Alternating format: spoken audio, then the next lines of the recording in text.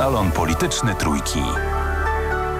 Zaprasza Beata Michniewicz. Dzień dobry, Paweł Rabiej z Zarządu Nowoczesnej, członek Komisji Weryfikacyjnej e, do spraw reprywatyzacji w Warszawie Dzień oraz dobry. kandydat na razie swojego ugrupowania e, na prezydenta stolicy i ustaliliśmy, że mimo, że mają państwo e, w komisji rangę sekretarzy stanu, pan nie chce. Nie chce, żeby mówiła panie ministrze.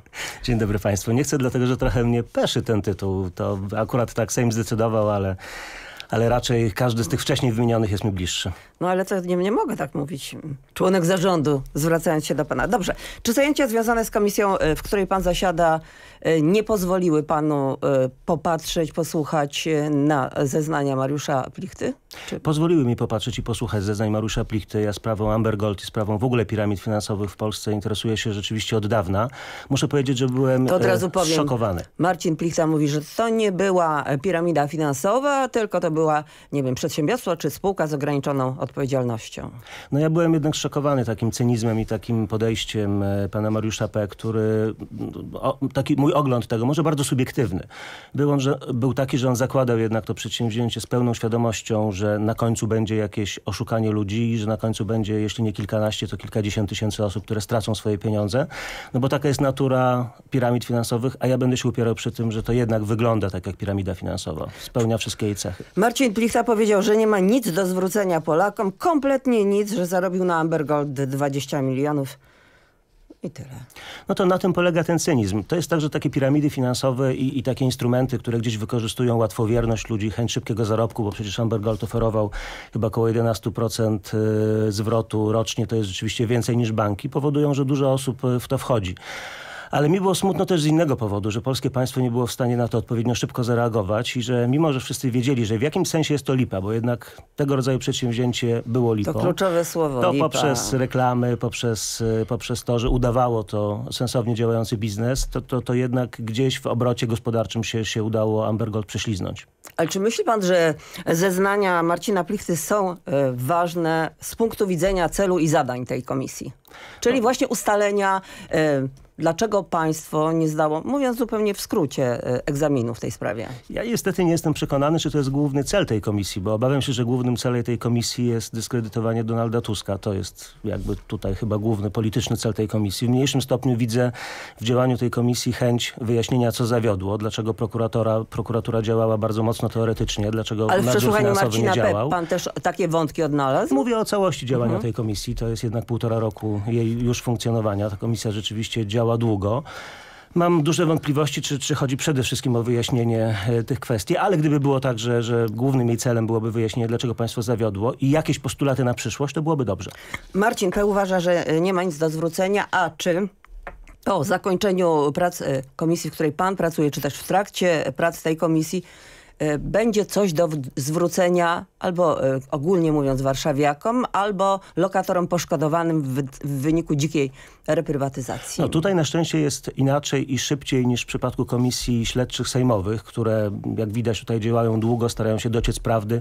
Bardzo często też, też kierują się takimi przesłankami politycznymi. Komisja weryfikacyjna do spraw reprywatyzacji działa na podstawie prawa administracyjnego i my przyglądamy się konkretnym przypadkom. Teraz akurat w tym tygodniu przykład Twardej 8 i Twardej 10, gimnazjum w centrum Warszawy, które musiało się stamtąd wyprowadzić, dlatego że grunt został właśnie odzyskany przez osobę zajmującą się reprywatyzacją, czy, czy starającą się wejść w prawa dawnych właścicieli.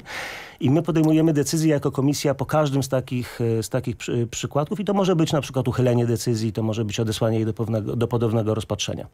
Mm, Wczoraj powiedział pan na antenie Polskiego Radia, że już pan jest właściwie zmęczony namawianiem Hanny Gronkiewicz-Walc y, do udziału w pracach tej komisji, to znaczy do stawienia się przed i odpowiedzi na pytania. Czy coś wiadomo, czy pani, pani Hanna Gronkiewicz-Walc przyjdzie dzisiaj, przyśle swojego przedstawiciela, bo ona dzisiaj miała być y, jako strona, nie jako świadek. Tak, pani prezydent miała być jako strona, bo to też warto wyjaśnić, że w tym postępowaniu są też, tak jak w każdym postępowaniu administracyjnym, strony. Miasto zostało pokrzywdzone, bo straciło tutaj e, działkę przy, przy Twardej, więc naturalne jest, że mamy stronę, która odzyskała, stronę, która straciła i z tego punktu widzenia uważam, że dobrze by było, żeby pani prezydent tam była w dobrze pojętym interesie miasta i w dobrze pojętym interesie swoim. Ale czy komisja Natomiast ma jakiś przyjdzie- sygnał, czy przyjdzie, czy nie przyjdzie, czy jest taka odmowa na piśmie, czy to, to jest tylko odmowa za pośrednictwem konferencji prasowej? y, mediów? O ile wiem, to na razie jest to odmowa za pośrednictwem konferencji prasowej i mediów. Zobaczymy w okolicach, w okolicach południa, czy, czy jakiś reprezentant miasta będzie obecny.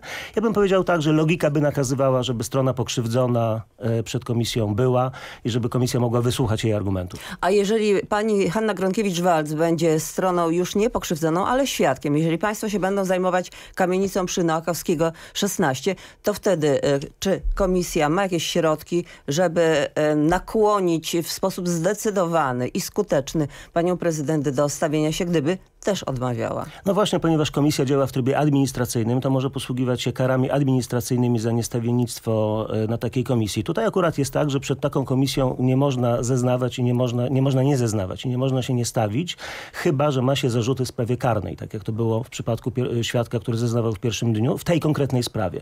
Więc tutaj będzie narzędzie do tego, żeby No dobrze, kara, wezwać no skutecznie dobrze panią ale e, kara administracyjna e, i co? I po karze administracyjnej można nadal odmawiać, czy No, nie? można mieć kolejną karę administracyjną, ale pytanie, czemu to służy? Dlatego, że jeśli chodzi właśnie o wyjaśnienie z kolei y, kamienicy Noakowskiego 16, gdzie pani prezydent będzie świadkiem, bo to jest kamienica odzyskana przez ją rodzinę, to, to akurat w trybie y, kodeksu administracyjnego pani prezydent nie ma powodu, żeby się tutaj nie stawić. Po prostu będzie łamała prawo, jeśli się nie zjawi. Pan mówi, że pan jest zmęczony tym namawianiem, ale tak naprawdę to w pana interesie jako kandydata, przyszłego kandydata na prezydenta Warszawy jest chyba właśnie to, żeby się pani prezydent nie stawiała, żeby odmawiała współpracy z komisją, dlatego że mimo, że ona sama nie będzie kandydować, no to jednak e, ta cała historia może wpłynąć na kandydata z Platformy Obywatelskiej. No w jakimś interesie pewnie może by i tak było, ale jednak jest też interes publiczny, interes e, wyjaśnienia wszystkich kwestii reprywatyzacji. Wymagałby tego, żeby pani prezydent się stawiła i też wyjaśniła, jak e, były podejmowane decyzje w ratuszu dotyczące reprywatyzacji. To, to po pierwsze. Po drugie, ja staram się jednak rozdzielać te interesy i będąc w komisji, co widać, mam nadzieję, unikam komentarzy politycznych i raczej staram się dociec, jak rzeczywiście było w przypadku twardej 8 i 10, niż ferować takie łatwe wyroki pod tytułem, że pani prezydent zawiodła, że nadzór nie działał, że tam rzeczywiście był bałagan w ratuszu.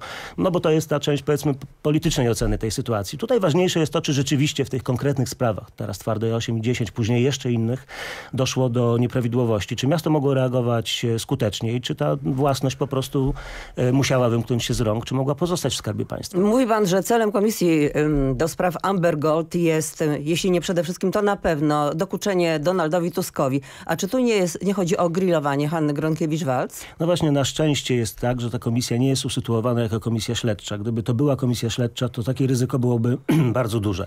Tutaj, ponieważ rzeczywiście rozprawy dotyczą tych konkretnych adresów, to, to jest dużo mniej pola i dużo mniej przestrzeni na to, żeby Dużo wysnuwać mniej, ale takie... jakaś jest? Zawsze jakaś jest, no ale skoro, skoro w, w komisjach administracyjnych chodzi przede wszystkim o podjęcie na końcu decyzji dotyczącej konkretnych nieruchomości, to mam nadzieję, że tego pola nie będzie tak dużo. Osobną sprawą rzeczywiście jest kwestia oceny, czy w sprawie reprywatyzacji ratusz zawiódł, czy nie. Ja na przykład bardzo cenię to, co, co robi ratusz w sprawach jakości życia mieszkańców. Cieszę się, że nowe bulwary mamy nad Wisłą, ale jeśli chodzi o reprywatyzację, to moja ocena do tej pory była dość ostra, że tutaj można było działać ostrzej. A jeśli NSA odpowie, że rzeczywiście tutaj ratusz nie jest stroną, prezydent nie jest stroną, no to wtedy będzie musiała komisja to uszanować. I nie, Komisja- będzie, i nie tak. będzie przesłuchiwać e, w takich sprawach, kiedy, gdzie według państwa ratusz jest stroną. Ja mam Pani niestety prezydent. wrażenie, że ten e, spór kompetencyjny, który wszczęła pani prezydent, e, starając się podnieść, że to miasto e, jest stroną wydającą decyzje reprywatyzacyjne, w związku z czym komisja takiego umocowania nie ma, jest kolejnym parawanem, za którym niestety pani prezydent chce się, e, chce się ukryć. E, Komisji pomagają też sędziowie Naczelnego Sądu Administracyjnego. To jest istotna kwestia, która pomaga też nam podejmować sensownie decyzje. I myślę, że najlepiej byłoby rzeczywiście, żeby pani prezydent zdecydowała się na zeznania przed tą komisją i wyjaśniła, co się w mieście działo. Czyli jak pan mówi, jest niewiele mimo wszystko okazji do, w cudzysłowie, grillowania Hanny Gronkiewicz-Walc. A jest okazja, żeby Patryk Jaki, jak to mówią liderzy Kukiz15, wykreował się na szeryfa? E, No, jest sezon grillowy, więc ogólnie e, powiedziałbym, że to lepiej byłoby, gdybyśmy grillowali sobie na łączce i, i, i na tym się skoncentrowali, niż Ale mówiąc- stosowali grillowanie w polityce. Ale mówiąc poważnie, mówiąc poważnie, czy, Patry, czy Patryk Jaki rzeczywiście, em, że tak powiem e, zupełnie w skrócie, e, ma dobre zamiary w tej komisji? Czyli, Są- czyli są- chce dojść, dojść do e, jakichś konkluzji dotyczących ewentualnych y, decyzji reprywatyzacyjnych. Mam, mam nadzieję, że przewodniczącemu komisji przyświecają podobnie tak jak i mnie dwie przesłanki. Po pierwsze wyjaśnienie e, konkretnych decyzji reprywatyzacyjnych i cofnięcie ich lub zmiana wtedy, kiedy jest to potrzebne, bo jeżeli wszystko okaże się w porządku, na przykład przy Nowakowskiego 16, no to czego się tutaj czepiać? A po drugie sformułowanie jednak postulatów na przyszłość, bo sprawnie działające państwo to jest też rzeczywiście rzecz, o której Nowoczesna mówiła od początku. A Amber Gold, e, skoki, e, reprywatyzacja pokazuje, że my nie potrafimy sprawnie jeszcze w państwie zarządzać i to jest wyzwanie. No a propos tej przyszłości, czy Nowoczesna ma jakiś projekt ustawy reprywatyz reprywatyzacyjnej, trudne słowo, przepraszam. Strasznie trudne słowo ta reprywatyzacja reprywatyzacyjnej, bo Ryszard Petru w, bodajże we wrześniu 2016 roku namawiał y, liderów innych ugrupowań do pracy nad taką ustawą. I co? I czy państwo jakoś coś wnieśli do tego pomysłu? Tak, wnieśliśmy do tego taki dziesięciopunktowy plan, taką mapę drogową, którą przedstawiałem razem z e, Kamilą Gasiuk-Piechowicz jesienią ubiegłego roku.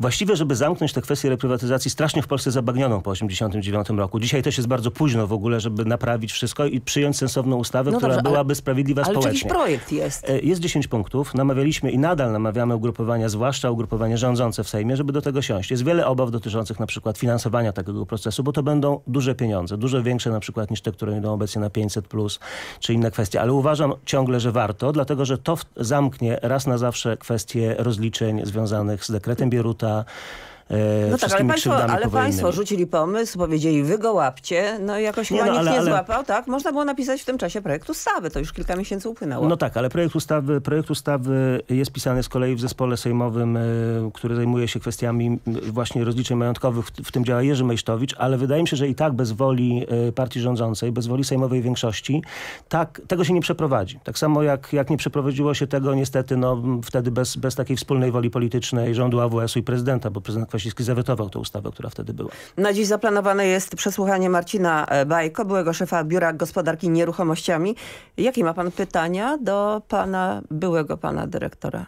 Mam bardzo długą listę pytań, dlatego że Marcin Bajko był osobą, która była kluczowa w procesie reprywatyzacji w Warszawie. On nie podejmował decyzji, nie podpisywał decyzji reprywatyzacyjnych, ale tak naprawdę wiele osób wskazuje go jako osobę, która miała największą, największe znaczenie, jeżeli chodzi o wypracowywanie tych decyzji, podpisywanie ich. Moje pytania dotyczą właśnie tego, e, jak wyglądała kwestia twardej 8, twardej 10, ale mam też dużo bardzo konkretnych pytań dotyczących e, sposobu funkcjonowania ratusza w tej kwestii i tego, na ile była zaangażowana w poszczególne decyzje, na przykład pani prezydent. A jeśli e, chodzi o tę twardą, o której rozmawiamy, to czy to jest tak na pana ogląd na razie decyzja, którą można cofnąć? Decyzja reprywatyzacyjna? Yy, Nie chcę ferować tutaj wyroku, bo to jest, czy też mówić o tym, jak będzie, bo nad tym się musi zastanowić cała komisja. W moim osobistym przekonaniu to jest taka sprawa, która trochę wygląda jak po nitce do kłębka, że ktoś zyskując kawałeczek wartości, buduje taką atmosferę wokół tej działki i stosuje takie rozwiązania i myki prawne, które na końcu powodują, że dostaje jej zwrot. I uważam, że wiele kwestii, na przykład kuratorów tam, na przykład wchodzenia w prawa osób, które zostały, yy, spadkobierców, którzy zostali nieodnalezieni, kwestia też yy, społecznie interesująca przeniesienia tej szkoły, przecież to był interes społeczny, tak, tam działało, tam działało gimnazjum, powoduje, No że... tak, czyli sprawa jest zaplątana, czy też zabagniona, ale ja pytałam, czy na pana ogląd w tej chwili jeszcze nie wszyscy świadkowie zostali przesłuchani. Myśli pan, że można tę decyzję cofnąć? Tak, jestem o tym absolutnie przekonany po lekturze dokumentów, którą mieliśmy, bo my nie pracujemy tylko ze świadkami, ale też wcześniej czytamy wszystkie dokumenty w tych sprawach, mamy dostęp do pełnych akt. Uważam, że są przesłanki, żeby te decyzje zmienić. Dziękuję bardzo. Paweł Rabiej z Zarządu Nowoczesnej, e, członek komisji weryfikującej, same trudne słowa, decyzje Niestety. reprywatyzacyjne w Warszawie i kandydat na prezydenta, chociaż właściwie to jeszcze nie ma kampanii, może nie powinnam tego mówić. Dziękuję bardzo. Beata Dziękuję Michniewicz, bardzo. do usłyszenia.